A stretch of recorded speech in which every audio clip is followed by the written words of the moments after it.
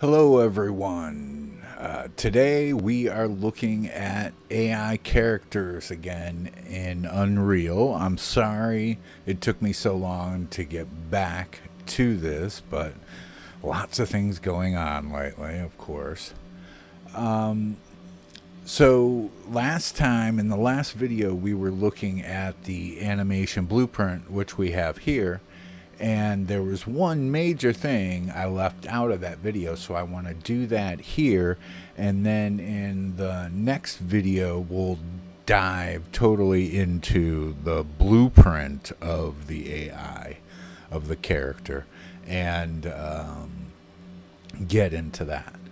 Uh, you know the major reason why I'm doing this is because a few of you have asked or, or been excited about more videos around um, blueprints, and uh, but I'm a little bit reluctant to do that because I'm not an expert in blueprints. I'm mostly a character and animator. Um, but of course, I am learning all this stuff. Um, so why, you know, while this stuff is pretty fresh in my brain, um, I don't mind passing it along as long as everyone understands that I'm not uh, an expert in blueprints or anything like that.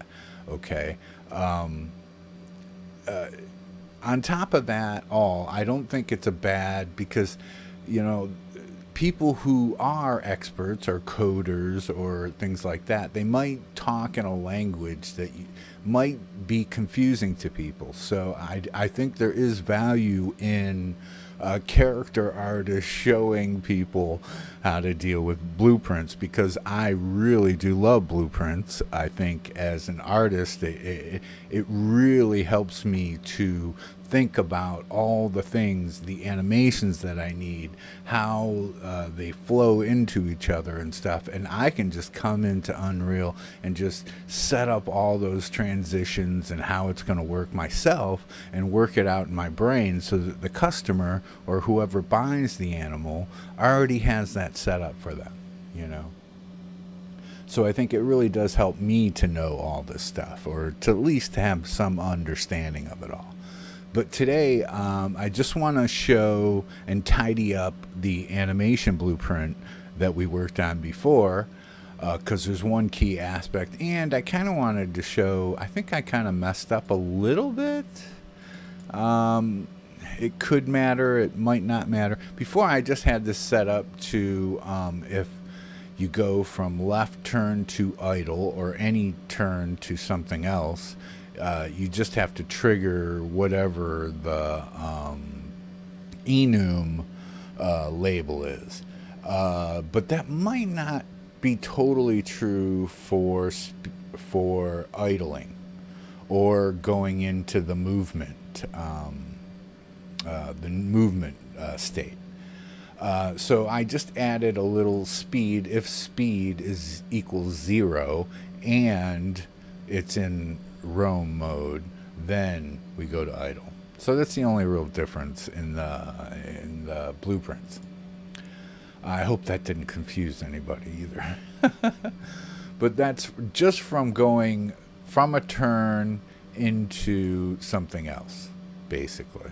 Or the idle specifically, because it needs to be zero.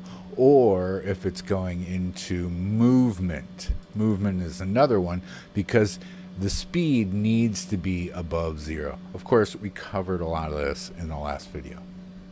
But the part we did not cover, okay, right now we're working within the anim graph, okay? If we double click this, we get this state machine node, which opens up into the whole graph of everything, okay? The other option we have on the left is the event graph. Okay, now this is more the blueprint side of the an, an, animation graph. Now, you can do these. The, the, thing about Unreal is there's just so, well, in any platform really, uh, there's just so many different ways to do things. Okay, so that's why I kind of don't mind showing you guys all this because this is just one way to do it. Okay, Um, if this helps you to understand how everything works, then it's you know it's it's worth it to me, or at least. Um, okay, so this is the event graph. So this is a blueprint, basically a blueprint, and uh, this is just setting up, setting the speed and the direction. Okay, so we're going to go through this real quickly in a brand new graph, so it, it'll be something that similar to what you're going to see. Okay, so let's, um, I'm going to put this off to the side so I have it as a reference because again, I'm not an expert in this, um, in this stuff. So this is more like one that you're going to see. Okay, if you click on the event uh, blueprint, you're going to get something like this. And this is just, you know, some basic nodes that they set up, you know, by default. Um, we don't really need that one, depending on how you you're doing this in the game. But I'm just adding this part to this blueprint because it makes sense to the animation blueprint, just to set the speed and the direction in here so that in my uh, blueprint, my other blueprint, I then I'm setting up all the logic for the character and why he does what he does. Okay, so we're just going to set the speed and direction here. And of course, we need, we set these variables, so we're going to pull these variables out and we're going to set, set direction and then set speed too. Set, set speed. There we go. And we're going to pull out from here, connect here, and then connect there. So we're setting them, but you know, we don't want to set them to zero necessarily. Um, so we're going to pull out from here and we're going to type in vector length. Vector, vector length. Right there. Okay. So now we have an XYZ length. And we'll want to pull off here and go get velocity get velocity. Uh, am I spelling that wrong? Get vector. Why am I not seeing this maybe I should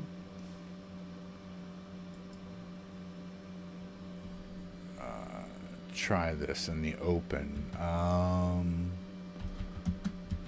try get pawn owner. Let's do this. And then we're going to pull off here and go get velocity, get velocity. There we go. And then we can plug that in there. And we'll pull off here and go get actor, get actor, get actor rotation right there, and pull off here. Oh no, we probably, we got to go up to direction. So direction we want to pull off and say cal calculate calculate direction. Okay. And then we're already getting velocity, so we can plug in velocity there and then plug in your rotation there. So there we go. Speed and direction all set up. And then if we hit compile, we should get it looking like this. So that's basically how you set up setting, speed, and direction in the um, animation blueprint. So let's save that. Probably want to save your project also. Uh, but let's open up the blueprint and we'll take a look at what uh, the next video is kind of going to be, be about. Now this is the super, well, I wouldn't call it super advanced. uh, there's more I want to do and more I want to get into, but um, this is the blueprint logic of how the animal uh, roams around. Now, the one we do is going to be real basic, but with that little little bit of knowledge, you can add an unlimited array of options for them to roam into. Uh, you just have to keep some kind of basic concepts um, uh, implemented uh, so that you can keep track of things. And the you know the some of the coolest things about working in Unreal is that you know the visual nature of everything that goes on. When I hit play in a scene, well, I sh probably shouldn't do it to this one, but let me um, do the original. I'll show you. So this is the the uh, crazy uh, animation blueprint. But let's say I'm in a scene and I want to watch uh, my the original bear that I set down on the ground. Now we can watch all of his transitions and what he decides to do in the animation blueprint. So if you know we set up the character and now um, you know now you're testing it and you're trying to make sure that everything is working properly. Well one part of the equation might be the animation blueprint. Maybe you set something wrong. Maybe something uh, has the uh, the wrong animation you know in it or whatever. He's doing the wrong thing at the wrong time um, well, those kinds of things are going to be in your animation blueprint. So here I can literally watch the scene and watch what that bear is doing, and I can see when, uh, you know, if I realize that uh, he's doing something funky when he's sitting, well, then I can sit here and watch him go through that process, you know, and see where and when the failure happens so it, it, just makes it so much easier, especially for an artist who wants everything to be visual, to um, understand what's going on with your character. You know, here we can see uh, him jumping between turning and movement. Now he's going to idle. You know, and so now he's in all the idle animations. But we can see all of that stuff happen. And the same thing applies to looking at the um, blueprint. So now I can choose this um, bear and now I can I can watch all his decisions happening and when they're happening. And if there is a problem and something triggers wrongly, I can literally zoom in and watch it happen in real time. So it's a good way. I mean, you talk about debug features. This is just like how Unreal works. So this is why it's so great. But anyways, I'll just keep rambling on about this stuff. In the next video, we will jump into a blueprint and we will create all of the basic logic for uh, an animal or most things. Have a good one, everyone.